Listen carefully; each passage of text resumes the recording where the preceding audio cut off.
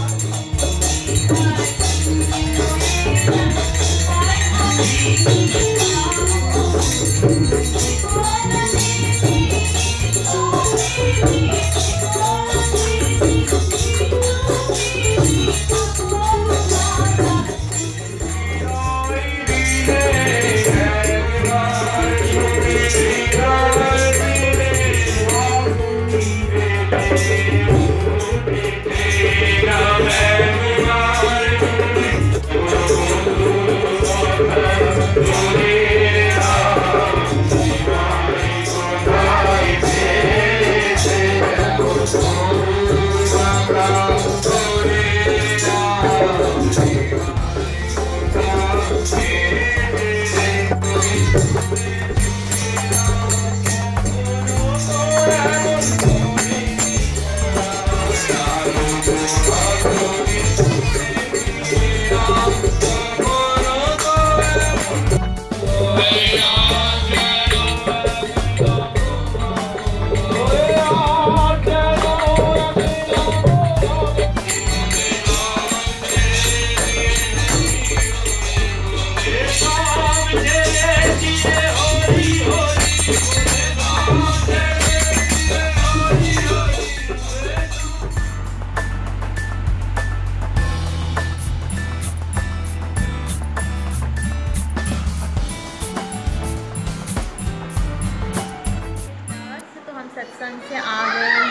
और वहाँ पे प्रसाद था तो हमने प्रसाद खाया है तो अभी फ़िलहाल भूख नहीं लगी है।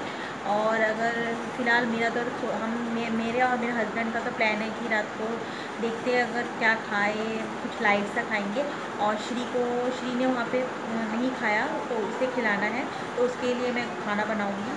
और बस यहीं पे मैं छोटा सा अपना ब्लॉग ख़त्म करती हूँ।